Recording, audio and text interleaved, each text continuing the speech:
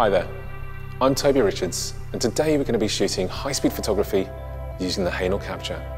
I want to take a photograph the exact moment that a crossbow bolt travelling at several hundred feet per second is fired into a grapefruit. It's a really tough shot to get, and the timing is absolutely critical, but the capture is going to automate the process, detecting the precise moment the bolt is fired, then firing a pair of speed lights. For this shoot, we're using the Hähnel Captur Module Pro, two capture receiver units attached to two speedlights, and we'll be flagging off the rear one of these using some props that we brought with us.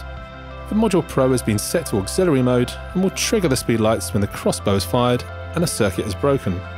We use the stereo jack to phono cable connected to crocodile clips, which create the circuit through a piece of aluminium foil wrapped around the crossbow string. So we're setting the shot up in a lightproof studio using a manual exposure of 5 seconds on the camera, and freezing our moment in time using the flash from our speedlights.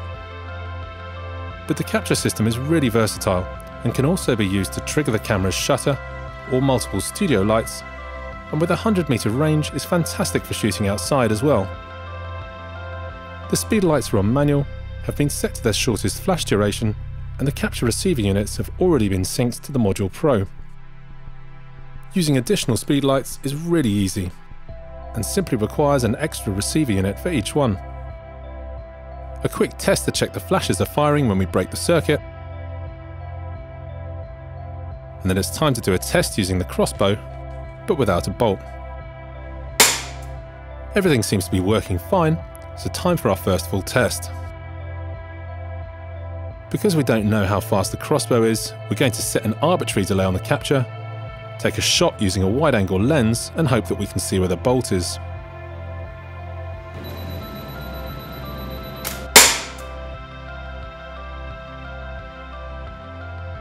The plan worked and we can see the bolt, so we're going to drop the delay right down and bring in the props for our first photo. Because we're working in the dark, the fact the whole capture system is wireless makes life really simple and a lot safer and the range of the units makes it perfect for wildlife or sports photography. Quick focus check and then I'm ready to go.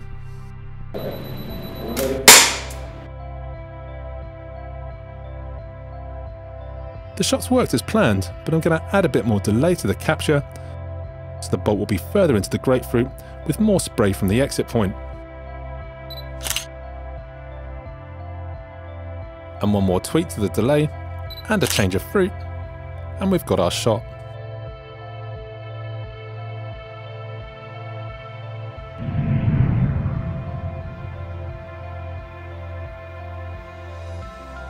Watch the rest of the films in the series from the links below, or visit the Hähnel website for more information on the capture.